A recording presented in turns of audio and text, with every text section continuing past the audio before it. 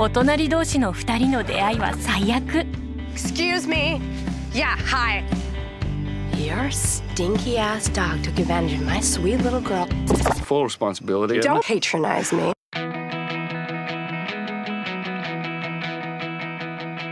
運命の人がこんなに近くにいるなんて知らなかった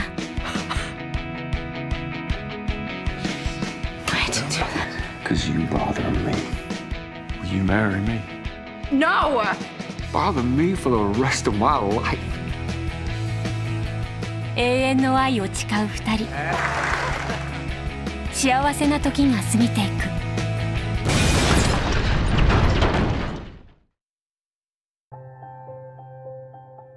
Her body's tired. If we reach that mark, we need to know you're prepared to carry out her wishes. No. It's not. remember her coming home day after day, watching. I kept thinking how many times I could have told her I loved her. But I just, I just can't do it.